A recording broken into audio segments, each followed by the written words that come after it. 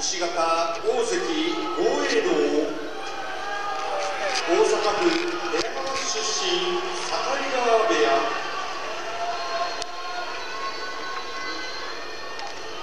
行司は40代式守伊之助これより三役であります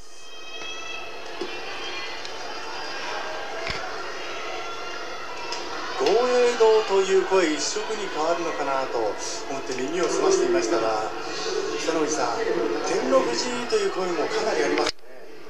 それはこんだけの活躍するとねはい。やっぱりファンは増えますよね。増えますね。ええもうどんどん増えますよね。ええ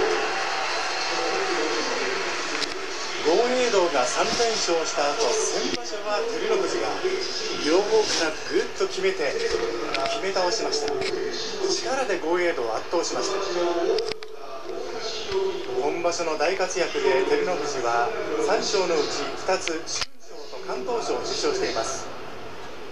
新三役での2桁勝ちというのは平成17年初場所の白鵬もし今日勝って新関脇で13勝ということになりますと平成17年秋場所の琴欧州以来ということになります。もし逆転優勝すれば新関脇での優勝は双葉山以来79年ぶり。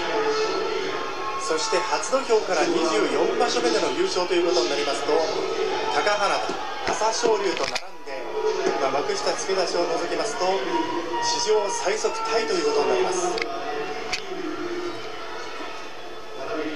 まあ、先ほどリポートであと1番とアンデシのアメニシが書いたというのは先のことは考えずにこの1番に集中しろということだと本人は受け止めたようですよね。ええその通りじゃないでしょうか。はい。えーですから僕らでもあれですよね。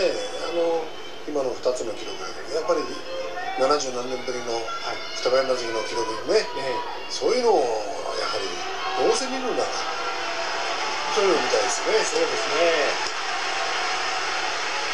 まあただ豪栄道もやはりこの地元の大声援に応えきれなかったという思いがありますので先ほどリポートにあったように最後に自分の力をしっかりと見せたい。そうですね。はい。それは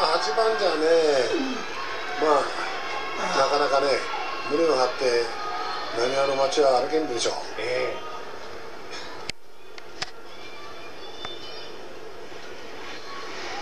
有谷さん、はい。お客さんも複雑でしょうね。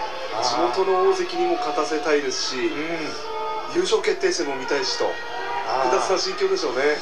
ですね。ですからええ。今日は豪栄道コール起きませんね。そうですね。今のところは。ええ。これはまあ豪栄道を応援したいという気持ちもありながらやっぱり今場所の前野さん、はい。照ノ富士の活躍に対する敬意もありますかね？それもあるでしょうね、え。ええ。それからお客さんもとにかくあの最後まで最後の最後まで面白い展開を見たいと、はい。まあ、そういう気持ちは強いと思うんですよね。ええ。それはつまり決定戦ということですね。そうですね。ただ勝負の世界ですからむしろ硬くなっているのはプレッシャーがかかる状況としては照ノ富士、まあ、でもそれが力に変える力士の要素としてはこの照ノ富士持っています。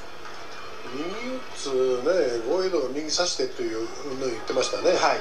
相手に上手が取られやすいですね。ええ。そういった場合はどうなんでしょう。照ノ富士が出てくるんじゃないかというねええ。そんな気もしますよ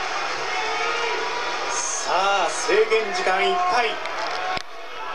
もし照ノ富士が敗れますとその時点で白鵬の優勝が決まります。勝って逆転優勝への夢をつないで結びの一番を待つことができるかどうか。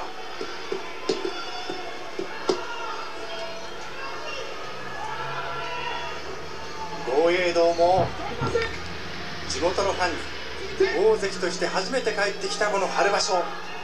力を見せることはできるかどうか。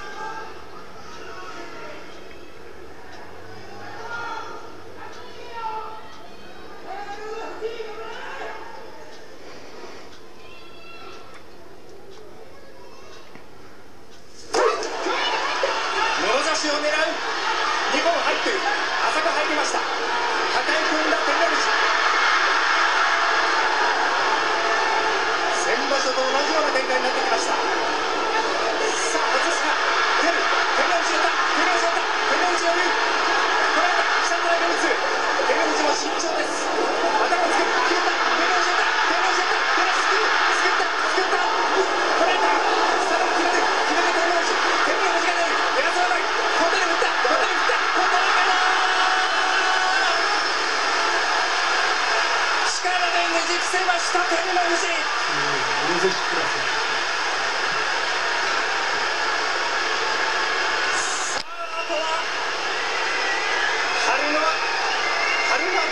します。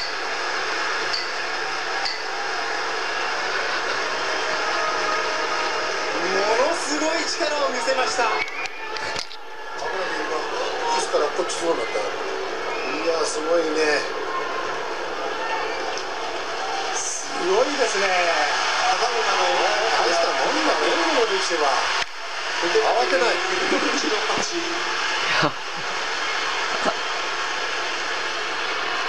いや驚きましたそして逆転優勝への夢をつなぎました